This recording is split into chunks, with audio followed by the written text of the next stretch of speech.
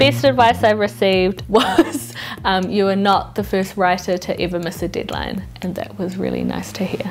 Oh, I think a good piece of advice I received is carve your own path. Nobody knows anything. Most people are making it up as they go.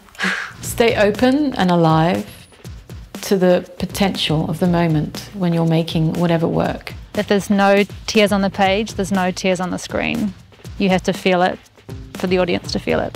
One was from Danny Mulheron, and he said, Oh, well, that's that piece of shit, on to the next piece of shit. Don't be a dick.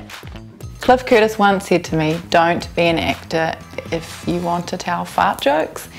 I don't quite understand it still, um, but I'm grateful for it because I did ask myself whether that's all I wanted to do, and I don't. It was a weird piece of advice, but um, I took it on board. Mm, grateful for it.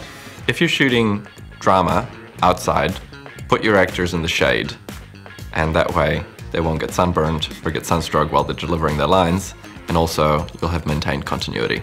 Put them under a tree or something. Struggle was good. That was something that my mum told me when I was young. You gotta take your mum's advice. Listen to your parents.